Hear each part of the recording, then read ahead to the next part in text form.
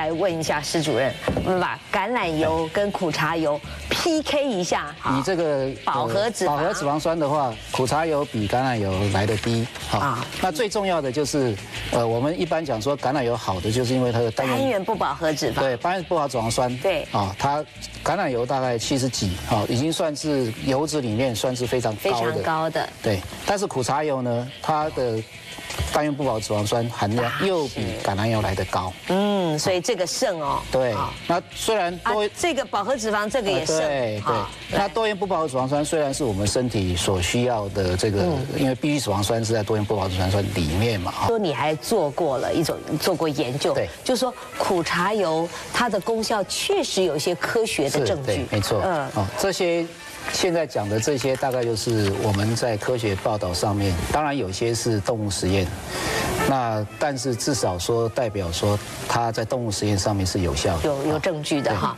第一个是啊，改善消化性溃疡，所以哈，刚刚杰英说，真的很多人一早起来就喝苦茶油呢。对对，好够威。啊，那要怎么喝？不是把整罐拿来喝吧？呃，应该正怎么？正常来讲的话，其实我刚刚这样子已经喝了两杯了。啊。啊，没有，因为呢我已经是习惯了，像平常早上起来空腹喝是最好的，嗯，那当我们喝茶油的话，大概隐隐能够接受的，嗯，比如说五到五到十 CC，就是我们用家里那个汤汤匙。匙，对，你就喝一口，像品红酒一样，对，整个口腔。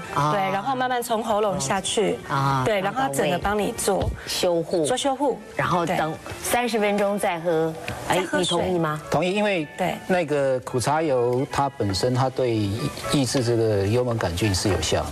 保护肝脏啊，减少肝脏发炎，这有证据吗？有有有，这个是那个我们中心大学呃嗯。那个呃严国清老师他有做过啊，他就是呃苦茶油动物实验。对动物实验就这样子哎有这种抑制化学性的肝发炎的啊的效果。哦，它是用什么？用小老鼠？我们是，我们是让这个小老鼠先诱导它发炎啊哈啊，然后喂苦茶油之后啊，看它的这种抑制的效果怎么样。怎么居然连败血症都还可以那这是我们学嗯校实验室老师谢建珍谢老师做的。